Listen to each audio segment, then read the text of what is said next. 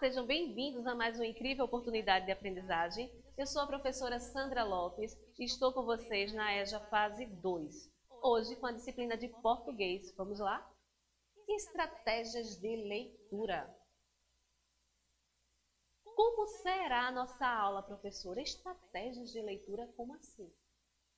Estabelecer expectativas em relação à leitura, pressuposições antecipadoras dos sentidos, da forma e da função social e finalidade do texto, funções de produção e recepção desse texto, os gêneros, imagens, dados da própria obra, índice e prefácio. Finalidade do texto. O texto se apresenta a partir de sua organização interna. São também chamados de tipos textuais ou tipos de textos. Tem o intuito de responder a diferentes intenções comunicativas. O texto ele vem com a finalidade de narrar, de relatar, de prescrever, de expor, de argumentar.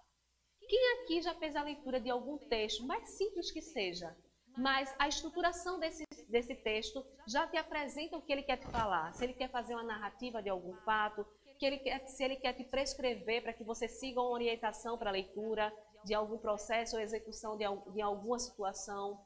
E aí você vai entender, de acordo com a organização, a composição desse texto, você vai ter uma leitura do que ele te apresenta. Vamos lá. Quando você vê um índice, o que é que esse índice te informa? Um índice é um quadro que metodicamente indica os assuntos tratados no livro, indicando as perspectivas, as respectivas páginas. Lista organizada, seguindo uma determinada lógica ou ordem que contém os nomes, assuntos contidos nos capítulos de um livro ou publicação. Ou seja, visualizando aqui o índice. Quando você visualiza o índice, você vai entender quais são os capítulos que vão estar dentro daquele livro, quais serão os conteúdos a serem lidos por capítulo. Né, dessa forma, no momento que você visualiza o índice, você compreende o que aquele texto previamente vai lhe passar naquela condição de leitura. Você já tem um entendimento global, generalizado, olhando o índice. Conhecimentos prévios. O que são conhecimentos prévios? O que vocês entendem como conhecimentos prévios? A leitura interpretativa requer compreensão entender a mensagem contida no texto, reconhecendo a postura ideológica do autor, a ideia central e a tese defendida. E aqui eu apresento duas mentes assim, uma com os pensamentos todos e todo embaralhado, né, com essa fragmentação aqui das peças, e a outra mente com a, essas peças bem encaixadas. É bem assim que se dá o processo de leitura.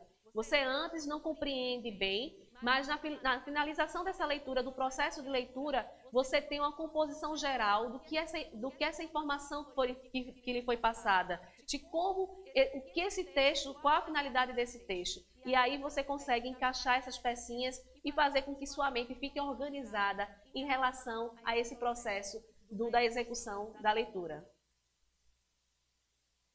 Trago para vocês aqui um fragmento aqui de uma música para que vocês entendam aqui mais outra etapa do processo de leitura. É tão bom meu forró, uma sonfona gemida e a lembrança de Gonzaga. Dou duvida quem não paga para ver ela reunida, com o triângulo e a batida de um zabumba estalada. Eita trindade arrochada, pense no bom de um xodó. É tão bom meu forró, não troco ele por nada. E aqui é um fragmento, é um texto uma narrativa de, de uma literatura de cordel, também que pode ser musicalizada. E aqui você já faz uma leitura e você entende o que é que esse texto quer lhe passar. É um texto o quê? É um texto poético. A estruturação dele já lhe apresenta isso, essa narrativa. Trago agora também um fragmento de um texto diferenciado. Antes visualizamos o quê? Um fragmento de uma música, de uma poesia, onde você é, entende a leitura e já sabe que ele está ali passando, uma leitura poética, musical. Agora eu trago para vocês um fragmento de uma tirinha, ou seja, um, um, uma questão que é muito exemplificada em revistas. E aí tem cadeiras com imagens de vários tipos de, de, de computadores, ou seja, de aparelhos tecnológicos, e aí o celular informa. E a pior parte, eles me usavam para compartilhar fake news todos os dias. Essa imagem, esse texto te passa o quê? É um processo o quê? Crítico. É uma sátira. Uma sátira é um processo onde você faz uma leitura de uma imagem e de um pequeno texto, onde quer lhe passar uma informação controversa, ou seja, com duplo sentido. E no prefácio? O que é que o prefácio quer te passar? Essa estruturação de texto quer te passar? O prefácio de um livro é uma ferramenta de marketing. Editoras frequentemente colocam o nome. Como assim o, o prefácio? O prefácio ele delimita, ele já fala, faz uma apresentação do conteúdo que, vai, que você vai ler. Ou seja, todos nós temos anseios pelo, é, pelo que é selvagem. Existem poucos antídotos aceitos por nossa cultura para que esse desejo ardente. Enfim, esse fragmento do prefácio, a leitura prévia dele já vai apresentar, vai fazer um marketing do que aquele livro vai te apresentar em leitura. É como se fosse um resumo geral do seu livro, da leitura posterior que virá. Desafio. Diante do que entendemos que os textos querem passar algumas informações, eu apresento para vocês mais uma estruturação de um tipo de texto. E aqui é uma receita de um bolo de milho bem gostoso, viu? E qual é o desafio de hoje? Qual o gênero do texto ao lado? Ele te apresenta o quê? Uma informação literária? Um texto jornalístico? Uma poesia? Ou um processo instrucional?